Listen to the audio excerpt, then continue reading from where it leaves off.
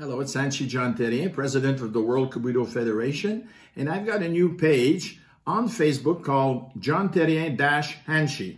So put your, just like it, put your name down, and uh, I will try to answer as many questions as everybody's got. But I also post a lot of great news and great things, so fine.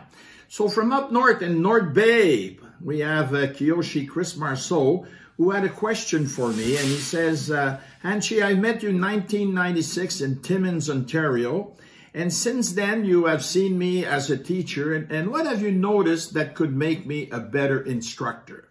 Well, Chris, let me start by saying that you are a good instructor. So that's number one. And yes, I've seen and I've met you before 1996, except you don't know it, but I was at tournaments and I've seen you compete. So you were a great competitor and I've seen some of your students and so were they. So when you become a teacher, there's three waves you have to come in, or maybe four. You start as an assistant instructor when you're maybe a blue belt, brown belt, help your teacher. So that's one. I've done that. Most likely you've done that. And then as a black belt, you start to teach and you get more responsibilities. And your teacher, your sensei will look at, to, at you and say, modify this, do it this way, do it that way. And then you become a great sensei. That you did. And then you start to coach. And coaching is different. Eh, a lot of people can be senseis and teaching, but not many can be good coach. You are a good coach. I've seen you compete, as I said. I saw your son that you're bringing up, and he's pretty good. But also, I remember at Capital Conquest, you had an awesome black belt team from up north that you coach, and you guys won that grand champ. And that stayed with me. I know there's talent up north, but talent without a good coach, you don't win.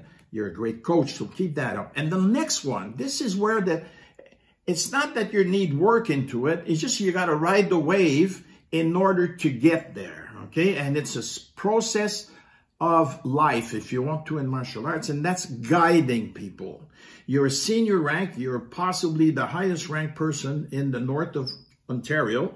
And guiding somebody, it's like what you did with your son Nicolas since he's a baby, right? You've guided him the right way in life, but in martial arts also. So by guiding those people, this will make you a very, very polished master in Kyoshi and eventually a Hanshi. And those days will come. So look at the guidance you have to supply them. And part of the guidance is maybe round up all the people that you know black belts once a month in your dojo, train them in whatever they want. But notice that some are very good fighters, others is kata, and others are instructors. So, so I want you to become the leader that you can be and the leader that you are. So that's where you're going, my friend.